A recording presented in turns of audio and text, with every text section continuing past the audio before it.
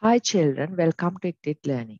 So uh, this is the third part of chapter one of grade 11 programming chapter. So if you haven't watched my previous videos, I have done uh, separate videos from grade six onwards. Uh, but if you want to start with grade 11, you can directly go to the grade 11 playlist and start watching, right? So this is the third part of the um, chapter one. So I have done two uh, other chapters where in the first one I have discussed about how to analyze a problem and the second one I discussed about uh, these uh, control structures and uh, flow charts. So in this video, I will be talking about pseudocodes. So hope you remember you can represent an algorithm in two ways, right? One thing is the flow chart, which is a graphical inter representation. But uh, second method is the pseudocode. It's like uh, simple English terms, right? Uh, so uh, when you present an algorithm in simple English terms, we call it as a pseudocode, right? So remember, pseudocodes are independent of uh, computer language. That means you can have different kind of computer languages. Hope you have heard Java, C Sharp, C, C++, Pascal, Python. So many uh, programming languages are there. But uh, pseudocode you can develop first, right? Then you can convert that to the relevant computer language syntax, right? So that is why this is very important because uh, first you have to uh, know the logic of your problem, how to how you're going to solve your problem, and you have to develop either flowchart or the pseudocode. Then you can convert that into any programming language, right? So if you have your pseudocode with you, it's very easy to uh, do the computer programming in that particular syntax because you have already developed your logic right? So in a pseudocode, like in the flowchart, in the flowchart, we had different kind of symbols. Hope you remember start, end, inputs, outputs, process. These have uh, different kind of symbols. Like that, uh, in uh, pseudocode also, you have to remember there are some English terms we always use, right? For example, like the start, it is the begin.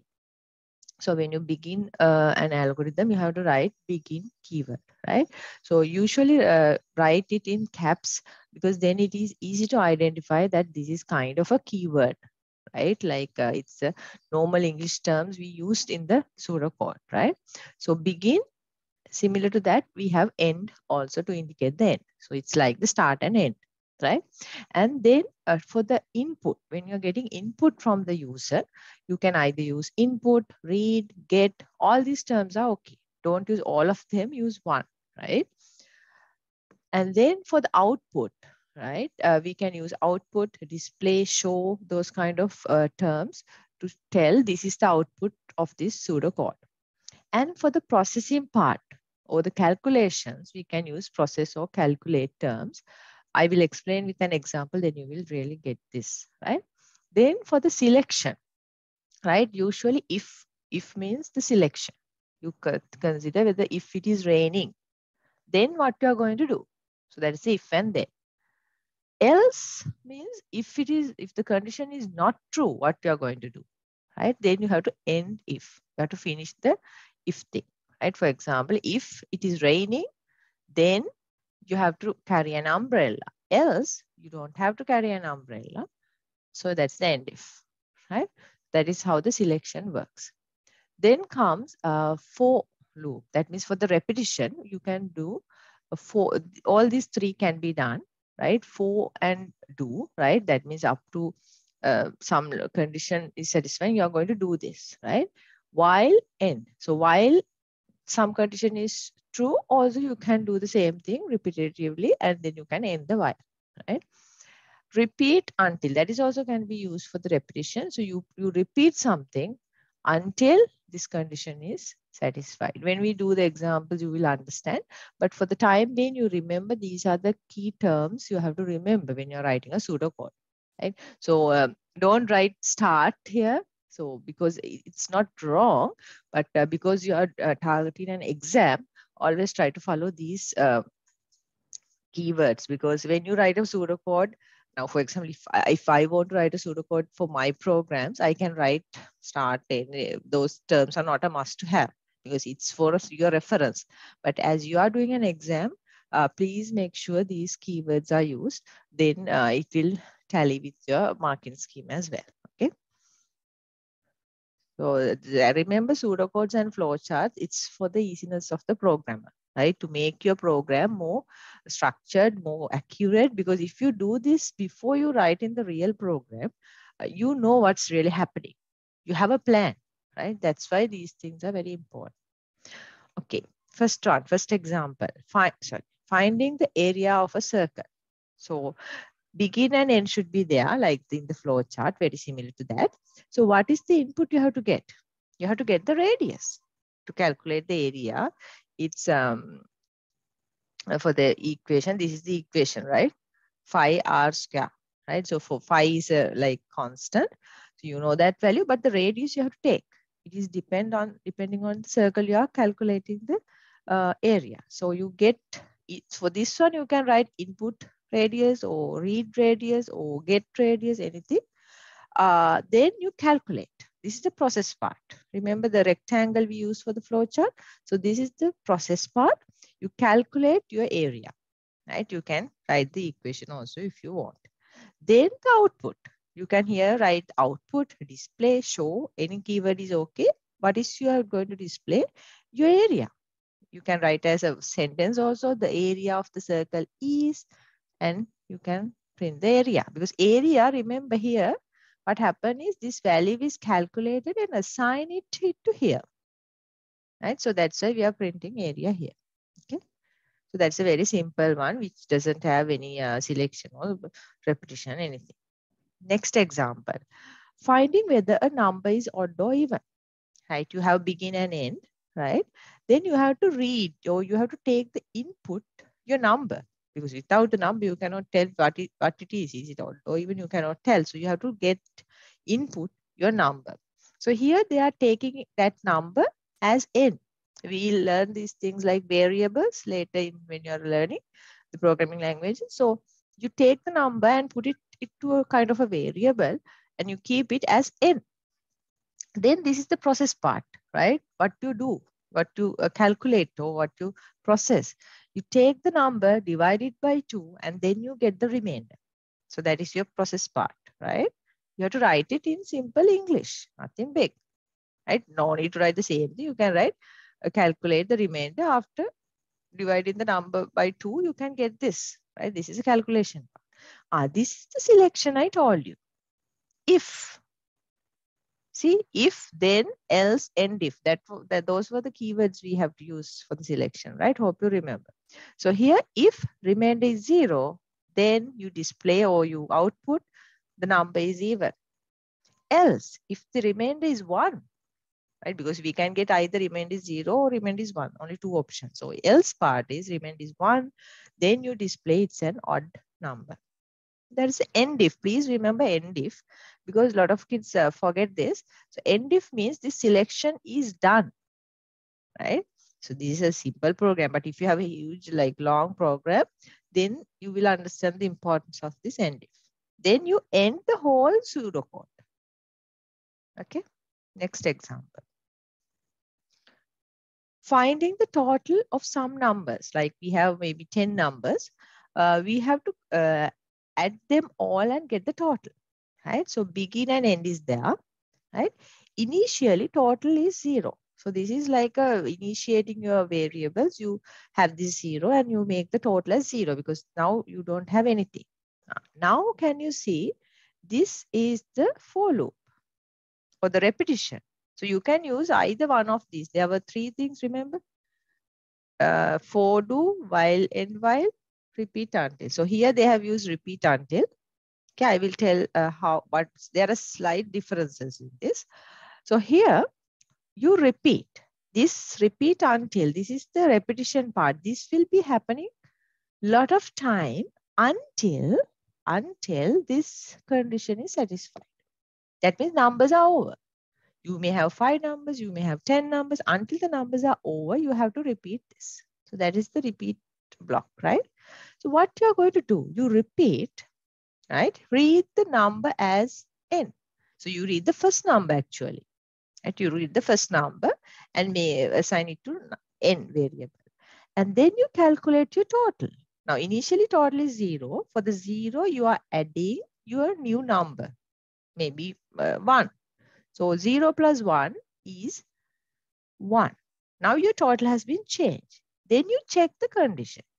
Now see in this model, in this block, the difference is you check the condition after you iterate the first iteration. You first iteration, you just do.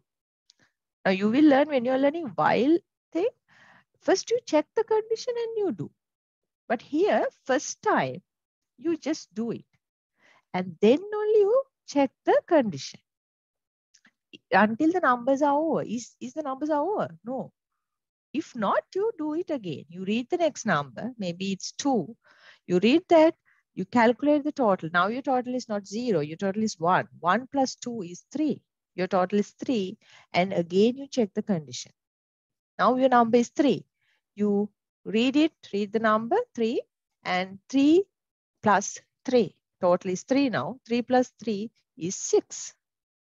So you do this until your numbers are over. So here the difference is first time you just do and then only you check the condition. Okay. Then you display or you output your total value.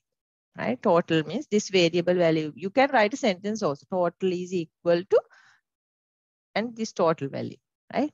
This is this total means you are uh, typing the value of this variable. Okay, next one. Finding the total and the average of 10 numbers, right? Begin and end is there. Same thing like the earlier, but here it's additionally you have average also, right? So you have begin and end, you have total like the earlier example, but you have average also this time, right? And here you have n like you have a counter. We call these things as count or counter. So you have n as 1, right? So you are increasing this number of n until it's 10 because there are only 10 numbers. Now see here, this is the while loop we have. While, end while. Remember end if, end while, that those are must to tell where this repetition block ends. It's a must to have. So here while, right? while n is uh, less than or equal to 10. Now, initially n is 1, right? So yes, this condition is true. n is less than 10. You go here, you read the number. Maybe your number is 1. You calculate the total. That means total is initially 0. 0, 0 plus 1 is 1, right? And you increase the your counter. Now you are going to do the second number. Remember, n is not the number. n is just a counter right? Now you are going to do the second number. Okay, you go up and check the condition. Still n is 2 because we haven't gone through all the 10 numbers. We have gone only through the second number. Now we are in second number. You read the next number. Maybe your number is now 3, right? So your total was 1, 1 plus 3. Now your total is 4, right? Then you go to this one. Now your uh, n was uh, actually 2. 2 plus 1 is 3. You're going for the third number, right? And you check the condition, right? Uh, we'll see uh, now your condition is true because 3 is less than 10. So you have to go through the loop again. Like this, you will do until 10 numbers you read. That means n is 10. Now in the n is when, when n is n plus 1 is 11, so you go here and 11, is it less than 10? No, no, no. This condition is not satisfied. So you go out of the loop, right? So when we come here, we have 10 numbers. We have read all the 10 numbers and we add them together and we have some total value. So how to calculate the average, right? So your total value, you have to divide by not n, by n minus 1 because now your n is 11, right? You have to divide by 10. When you how to take the average, you have to divide by the number of elements you have. So we have we have we have we have only 10 elements, but your n was one, 11 because we have increased it here. So that's why a total divide by 10 also correct. Just but here it's uh, 11 minus 1. So you get the average and you display total and the average. So that's the end of your uh, pseudocode. So here, remember in the earlier one, we ran the first loop and then only we check the condition. But here, we check the condition first and then we'll go here. So there's a difference between those two blocks, right?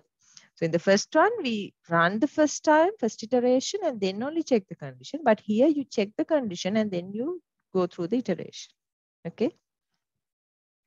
So here they have explained uh, some of uh, these things. I have already explained, but I will quickly go through. Uh, following are some of the facts about the pseudocode. So here we have total average numbers. I told them uh, are variables. They are variables, right? So we get the values assigned to number and the total and the average and the n also it is incrementing, right?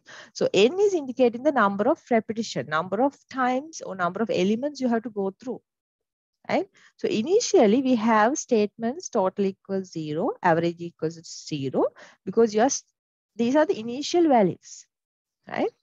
Then we have the statement n is equal to one. So what happens is here we start with the first element we are assigning that uh, value 1 to n, right?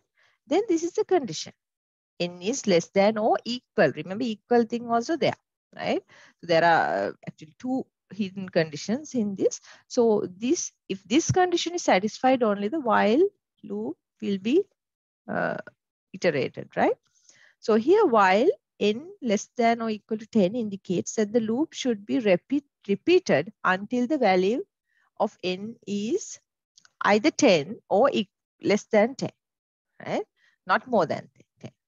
So repetition occurs when the value of n is less than is 10 or less than 10, right? This means till the condition n is less than or equal to 10 is true, repetition will be continuously happening. And when the n becomes 11, uh, repetition should stop. Okay, that means the condition is false, we call, right? So read is the like the input you are taking the input you get in the next number then always you have to read uh, 10 numbers right then you have the total total equals to total plus number denotes that the present value of the total you take it and you add it with the new number you are reading and then you get the final result and assign it back to the total this is one of the very popular statement, similar structure we follow a lot of time when you're writing programs. Initially, it will be a bit tricky for you, but if you get it, it's not very uh, tricky, right? So this one, n equals n plus 1. Actually, what you do here is you increase the number of repetition, right? You add 1 to the present value of n. That means you are is it you are in fifth number or sixth number, 5 plus 1 or 6 plus 1, and you go with the number of uh, numbers, how many numbers you have to iterate, right? Then you have end while, right? End while is actually still we have to stop the repetition, right? So all these reading number, total, assigning the total value and increase the n, this thing happen or repeat will repeat until the condition is satisfied only. If the condition is false, then the repetition stops. And that time the value of n is not 10, it is 11 right? That is why the condition become false because 11 is not less than or equal to 10. So the condition become false. That's why we end the loop and come out, right? Then we calculate the average, right? Directly you can do is total divide by 10, but here they have used 10 and done it, no worries. And then finally you display your total and the average. Uh, so this will show the total of 10 numbers and its average right? So that is how this uh, program will run, okay? So they, here they have given you some observation. So uh, remember when you um, assign a value to a variable, the previous value is actually lost. Remember total initially it was zero. Then for the total you are adding the new number, right? A new number was one. So zero plus one, the total is now one. So the zero value will vanish, right? Will be lost. So when the statement total equals total plus number is executed, the value assigned to the number variable is added to the value assigned to the total variable and the final result only you are getting for the total, right? So this is not a mathematical formula. Uh, these kind of statements we are using in our programming concepts, right? Okay, next part. This is also not very hard thing. So converting flowcharts to the pseudocodes. Right now, uh, we know algorithm can be represented either in flowchart or in pseudocode. So for example, if you have a flowchart here, how to convert it into a pseudocode? Not very hard. Both ways you can do, right? So I'm uh, going through these examples to show you that textbook has everything, right? You don't have to follow so many extra things. First, understand your textbook. That's the main important thing I want to emphasize. That's why I'm going through the textbook. Each page I'm discussing. If you watch my videos from grade six, I have used only the textbooks, right? So I can easily copy this to a presentation and show, but it's not going to work because you have this with you, right? So a lot of um, teachers I know what they do is they put these things into a whiteboard or a presentation and just explain the same thing. But they don't want to tell the students that these things are already available in your textbook. So go through the textbook first, study the textbook, be confident about the textbook. If you can handle any questions in the text, then go for the additional. Yeah, you have to go for the additional knowledge. That's true additional questions, go to the, do the past papers. But first step is you should be really good at your textbook. So please go through all the all of these examples and get this to your head and be uh, confident about it. Then you can go to any, you can, if you understand this concept, you can do any question, right? No worries, okay? So here, this is the flow chart. This is about uh, like how to um, prepare a tea. So I will quickly go through the flow chart. You start, right? Then you put the tea bag into the cup, right? So uh, this is kind of a process. Then there's a condition. Is water boiled? Already boiled? No. Then you have to boil the water and come back again. Is water boiled? Yes. Now what is boiled? Yes. Okay. Pour the water in the cup. So here we are using tea bag uh, to prepare the tea right? Then you go and see, do you want sugar? Some people don't want sugar. So then you can end the teacup. You just can serve the just the tea. But if you want sugar, yes, okay, add sugar, stir the thing. And then again check. Sometimes the sugar is not enough. Mm, no, we need more sugar. Yes, we need more sugar. Yes. So add sugar again, stir the tea, and then you check, okay, now sugar is okay. So no need of more sugar, you end the process.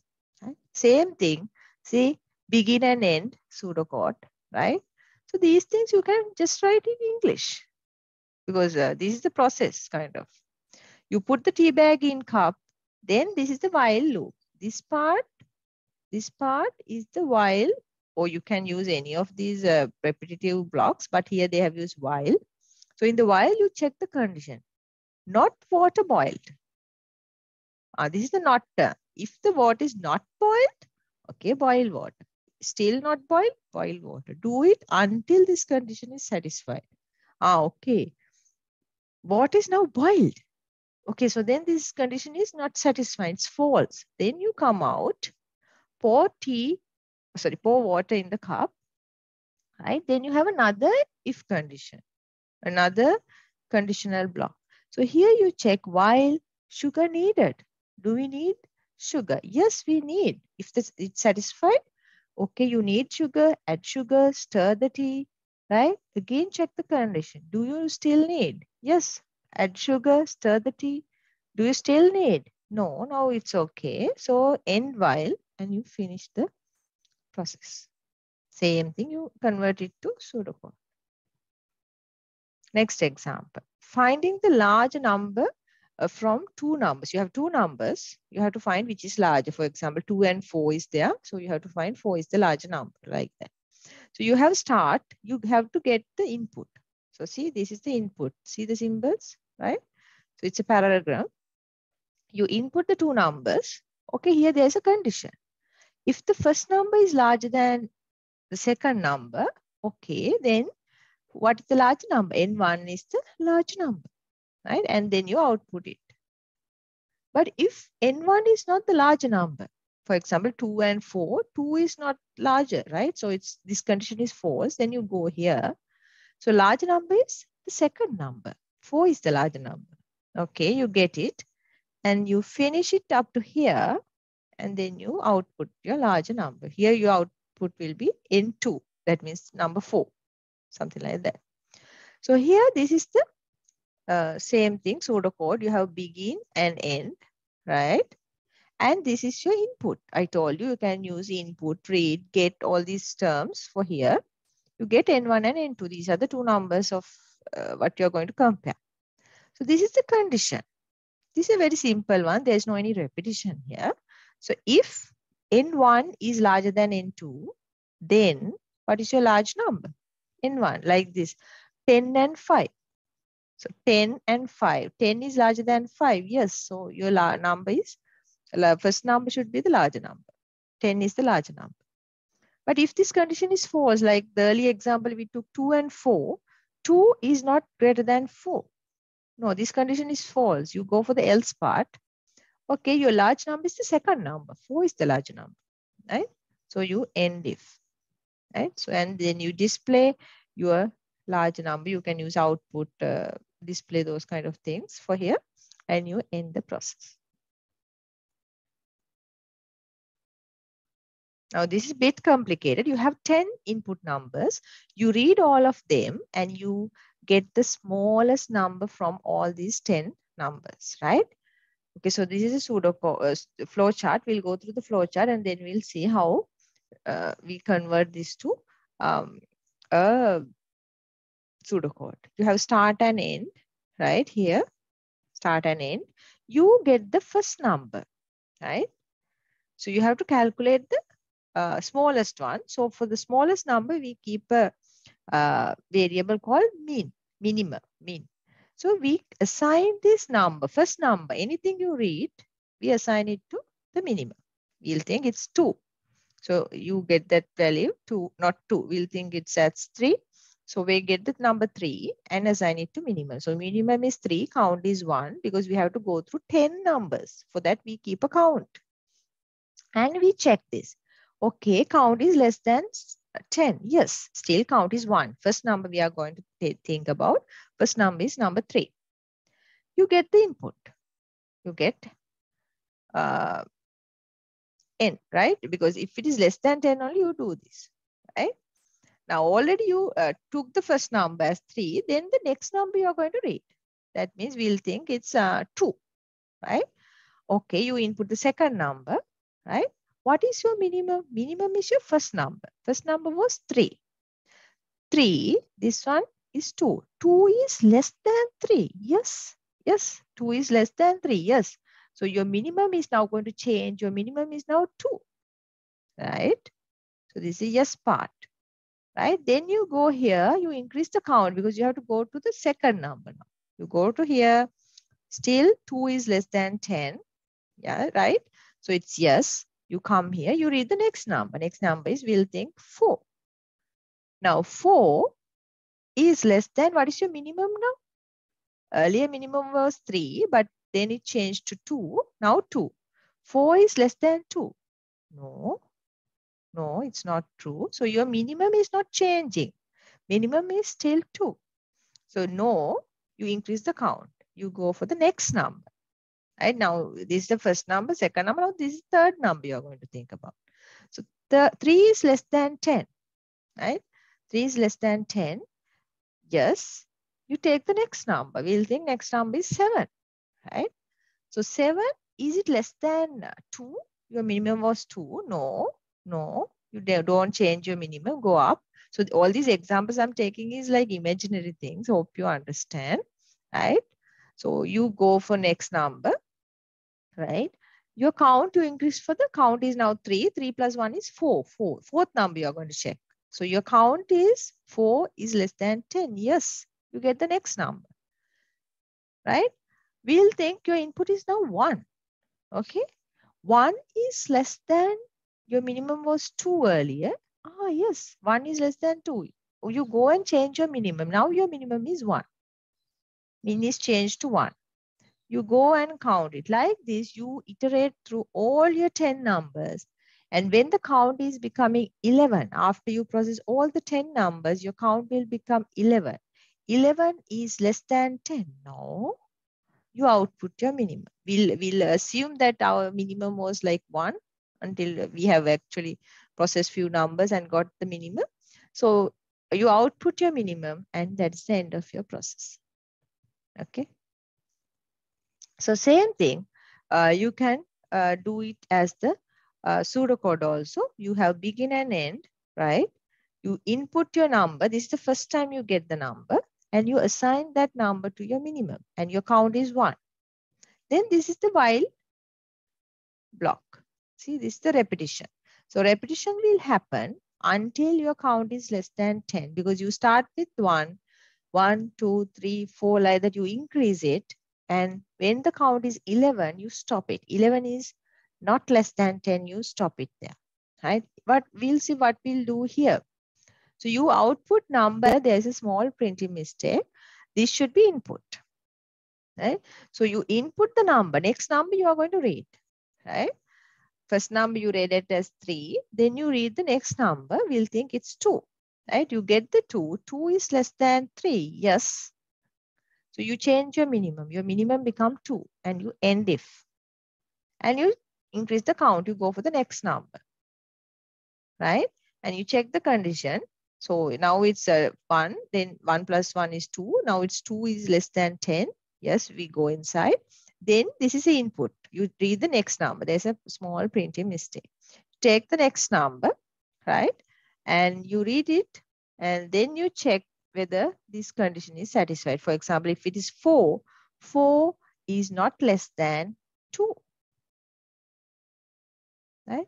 So you don't change it, you go out so still minimum is 2. Like that, you will continuously do it until this condition is satisfied.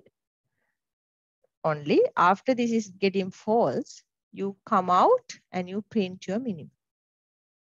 Okay, so you can try uh, this with uh, different numbers. Like for example,